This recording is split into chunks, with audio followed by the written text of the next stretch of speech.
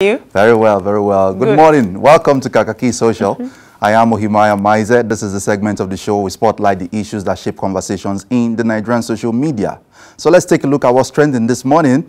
The much talked about policy document of a PDP presidential candidate Atiku Abubakar hit the social media yesterday officially when the presidential candidate of the PDP addressed the nation in a telecast that was uh, broadcast on Twitter and Facebook, and that also has got Nigerians talking. We go to the social media this morning to take a look at how that generated a lot of talk in the Nigerian social media. The Atiku plan was a hashtag for the unveiling of that document, and uh, we've seen a lot of uh, tweets, a lot of comments on Facebook about uh, these uh, documents, what Nigerians are saying about these. Let's take a look at how that is panning out. Uh, the spokesperson for the Atiku campaign in his official handle shared a video with us from that uh, telecast yesterday. He said, this is HE Atiku's plan to get Nigeria working again. Download full document on atiku.org. Hashtag the Atiku plan. Let's take a look at this short video that captures uh, moments uh, of that broadcast, which was uh, widely viewed yesterday in the social media and on live television. Let's take a look. This is my plan to get Nigeria working again. A plan that will give Nigerian workers a living wage. A plan that will give Nigeria's youth a world class education.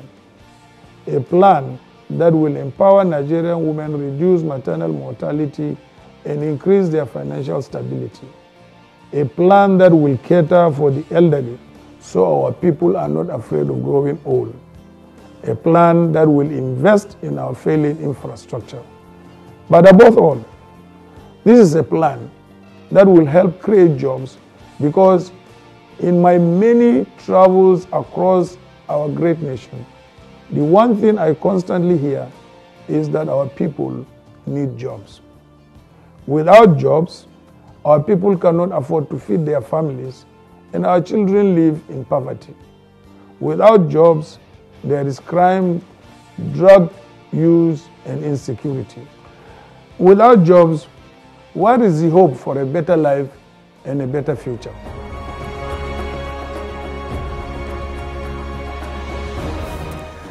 Uh, Atiku looking all suited up in that uh, broadcast yesterday.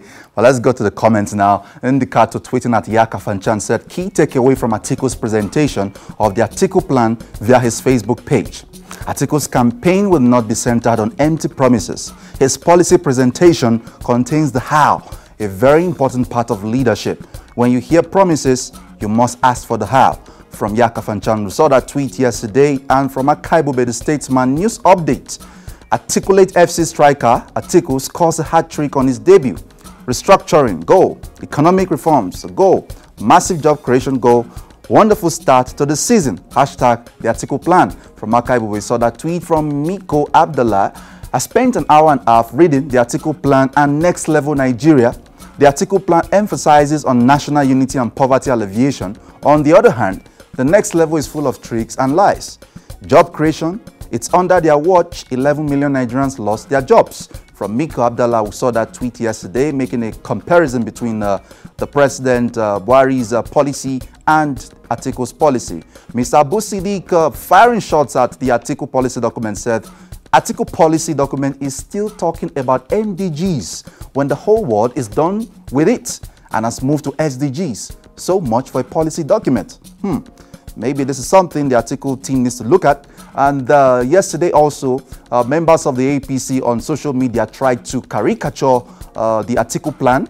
We saw this tweet from Mr. Jacks. Jubri. Gawa tweeted and said, Flash, details of the Atiku plan has been revealed to sell Nigeria, to steal some more, to increase corruption, to loot funds. Of course, they attached several images uh, which seem to be caricaturing the PDP presidential candidate and his uh, plan for Nigeria. In another tweet from Benga Gold, uh, Benga Olorunpomi tweeting at Benga Gold, who Benga is an aide to the governor of Kogi State. He also tweeted, I told you we are going to spoil this nonsense trend. Hashtag the Atiku plan. Of course, they attached uh, some of the images you can see, uh, just trying to lampoon the plan that was unveiled yesterday by President, uh, by the presidential candidate of uh, the PDP, Atiku Abubakar.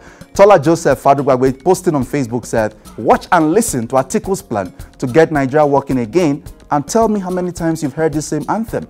There's nothing innovative in this speech if you ask me. Again, he didn't say a word on how he would checkmate the epileptic power supply in this nation, yet he wants to attract foreign investors. Joke. Lastly, he also didn't talk about the blockchain technology as seen in his plan. I insist that wasn't his opinion. Don't be tricked. And then we saw this tweet from uh, Kofo 23 on Twitter. First, they gave us Jonathan without shoes. Now they are trying to give us another firewood seller, Atiku.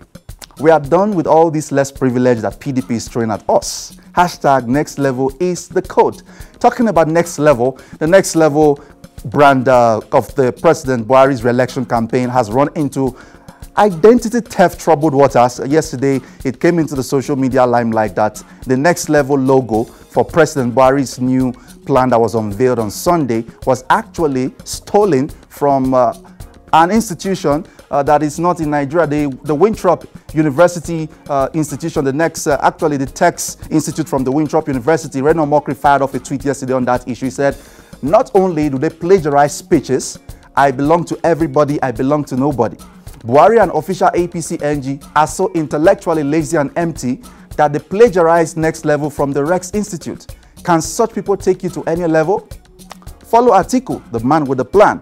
Uh, this issue getting some talk yesterday in the social media. Of course, you can see this is the original logo. This is the one that uh, the president unveiled on Sunday his next level plan for Nigeria. It was actually taken from the Rex Institute, another entirely different organization, not even in Nigeria, and far away uh, in uh, the United States. And this has generated some talk. Let's take a look at more tweets from Nigerians on this issue that uh, is currently trending right now. Let's go on and see from Anthony Ehilebo. We saw this tweet. What kind of next level is Wari promising us?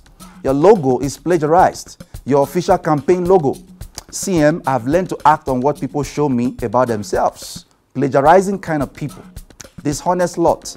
Next level 419. One night. One chance kind of people. From Anthony Hileba saw that tweet from Matamikos. Tolu let's this plagiarized next level logo is all you guys can come up with. This is so shameful and says a lot about this administration. And from real underscore no limit, this government went from stealing farming pictures on Google to copying and pasting them, to copying and pasting their next level, next level logo. They have no original idea, none whatsoever. We are doomed. Nigerians taking shots at President Buhari's new uh, uh, uh, master plan for his re-election, which, as we have just seen, the logo was actually uh, taken from the logo of an institute far away out of Nigeria. I'm from Lydia. Lydia on Facebook, we saw this post. This is how the following will enter next level. 50 kg of rice, 25,000 naira. 1 liter of fuel, 200 naira. 1 liter of kerosene, 500. 1 liter of diesel, 500. Flight ticket, 500% increase. $1 now 400 naira. 1 pounds to 600 naira. 2004 used car, 5 million naira. Bus ticket, 500% increase. Sickness, 100% increase. Drugs, 500% increase. Savings from salary, 0%. Lydia Lydia posting that on Facebook from uh, Junior Maurice 91. Please, just for proper clarification, has APC changed their slogan from change to next level? And the next level sounds like the name of a barbing saloon.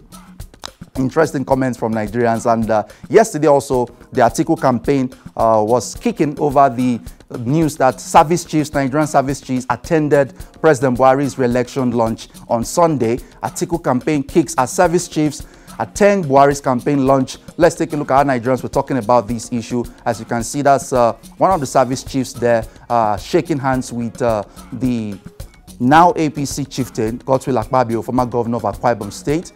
Excerpts from that report states, pictures of service chiefs attending President Muhammad Buhari's campaign rally tagged next level have become a source of worry for the Atiku Abubakar campaign organization. A spokesman for the organization has said some service chiefs, including the Chief of Defense Staff, General Gabriel Olonishakin, the Chief of Air Staff, Air Marshal Abubakar Sadiq, and Chief of the Naval Staff, Vice Admiral Ibok Ete Ibas, seen attending the event were obtained by the Punch on Monday.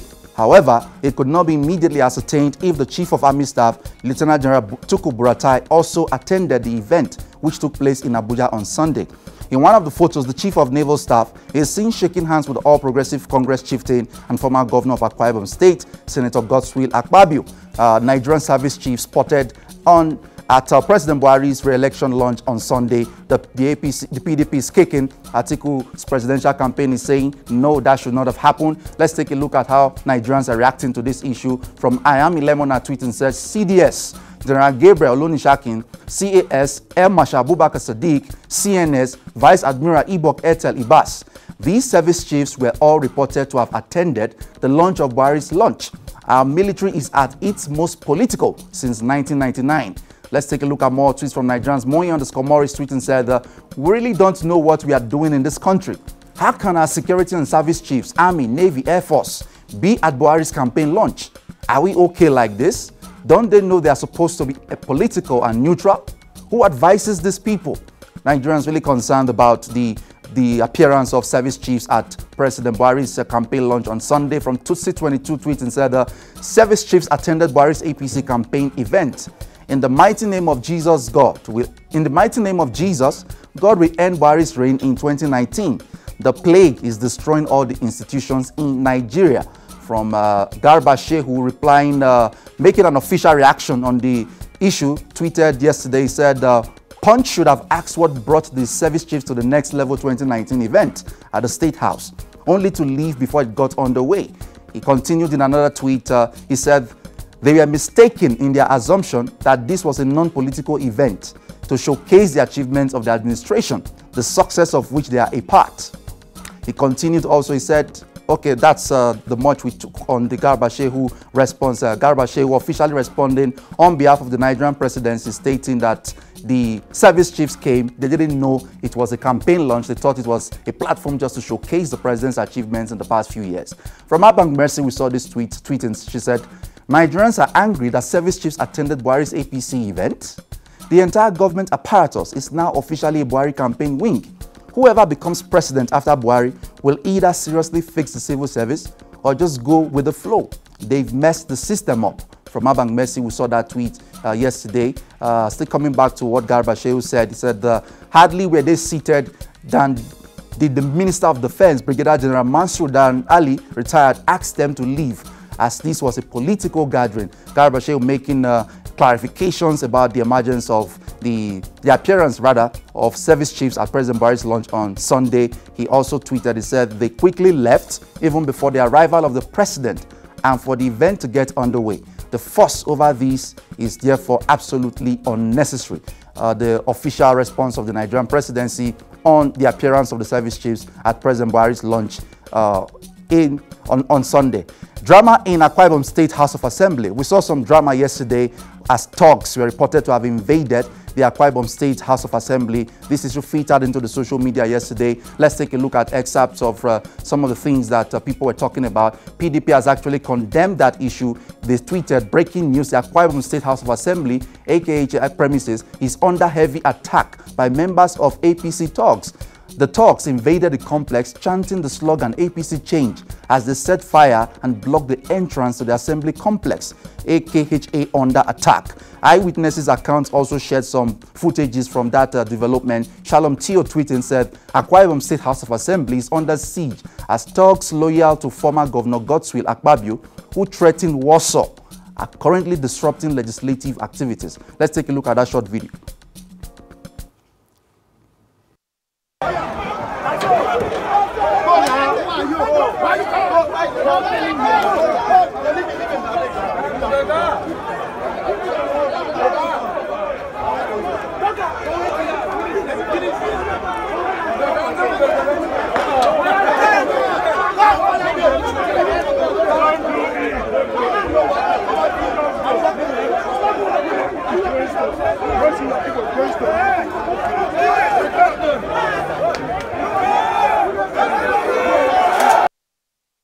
The Speaker, Luke Onofiok, expressing his disappointment with the Nigerian police for shielding the talks loyal to Senator Akpabio in another video uh, also posted by Shalom Tio. Let's take a look at this video as well. And the police is taking side with the protesters. I say I say it. I say it. Now what a police.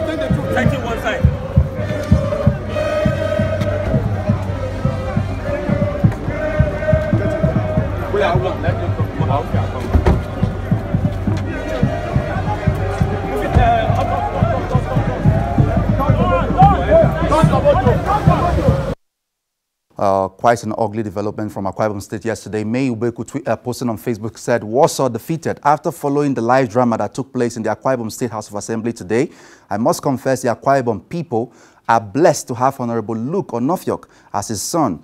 Dude is intelligent and very tactical.